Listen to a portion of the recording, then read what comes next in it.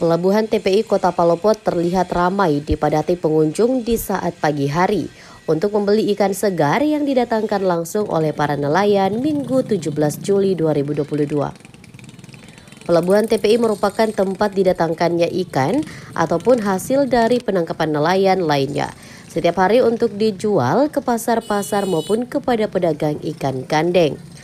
Sebelum dibawa ke pasar, hasil tangkapan para nelayan tersebut dijual di pelabuhan TPI dengan harga yang jauh lebih murah dari harga ikan yang ada di pasaran.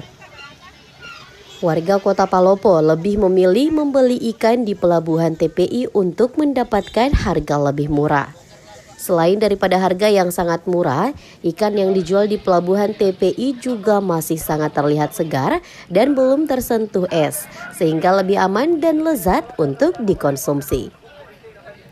Untuk diketahui bahwa di TPI selain ikan segar ada juga udang, ikan asin, kepiting, dan cumi-cumi yang ada dijual di sana. Tidak hanya itu juga ada berbagai macam kuliner yang disediakan di TPI, serta buah-buahan dan sayur mayur juga ada di sana. Dari Pelabuhan TPI Kota Palopo, reporter Seroya TV Ayong Darman mengabarkan.